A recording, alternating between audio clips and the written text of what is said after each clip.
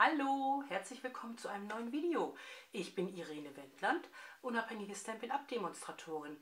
Ja, mittlerweile haben wir Oktober und es sind eigentlich fast nur noch so sechs Wochen bis zur Vorweihnachtszeit.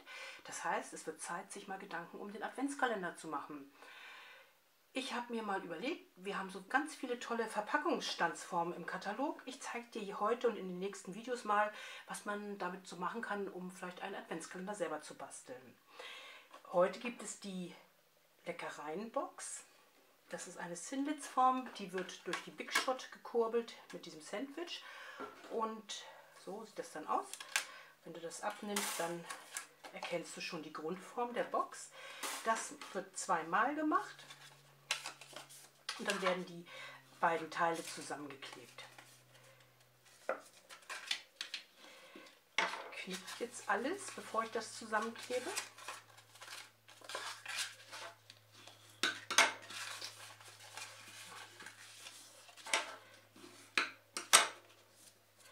Äh, wenn du das also vor dem Zusammenkleben knickst, dann geht es einfach leichter später. So, die Ecke auch noch. Hier ist mein zweites Teil. Hier sind Klebelaschen und auf diese Klebelaschen klebe ich jetzt mit meinem Mehrzweck Flüssigkleber eine kleine Klebespur auf.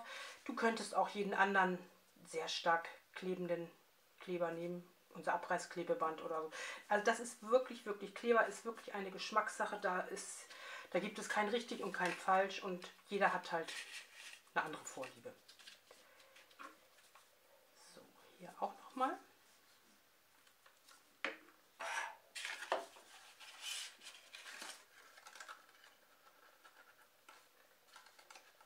Bei Adventskalendern geht es ja eigentlich wirklich um Großproduktion. Vor allen Dingen, also man braucht ja praktisch immer 24 Behältnisse. Und wenn du mehrere machen möchtest, dann brauchst du ja zum Beispiel zwei, dreimal jeweils 24. Da bietet es sich wirklich an, auf solch eine Stanzform zurückzugreifen.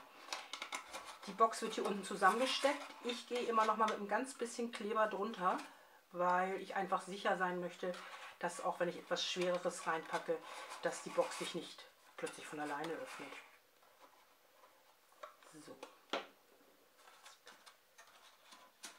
Und jetzt siehst du schon, wie es aussieht. Verschlossen wird die Box mit einer Mini-Wäscheklammer. So kannst du sie ganz leicht befüllen und ja, später halt weiterverwenden. So, auf diese Box kommt jetzt Designerpapier, circa 5 x 6 cm. Auch das wird mit dem Flüssigkleber aufgeklebt.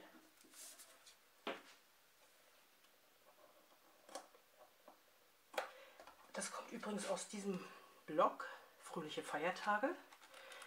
Da sind ganz viele wunderschöne Designs drin und ganz viel Papier, sodass du wirklich ganz viele Adventskalender damit basteln kannst. Für die Zahlen habe ich das Stempelset Project Live verwendet, Tag für Tag.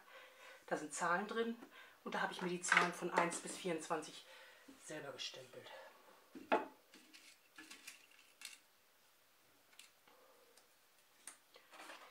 So. Die unterlege ich noch mit einem goldenen Kreis.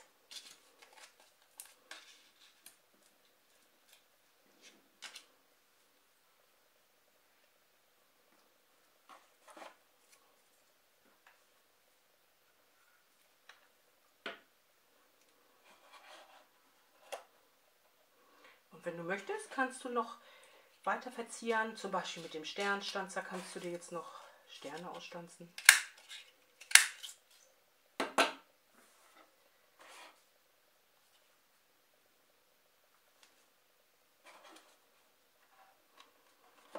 Oder, so wie ich das hier gemacht habe, aus einem anderen Weihnachtsset noch ein kleines Weihnachtsmotiv äh, stempeln, ausstanzen. Also da ist ja wirklich, wir haben ja sehr, sehr viele schöne Weihnachtssets in diesem Jahr und da ist ja der Fantasie, sind da keine Grenzen gesetzt.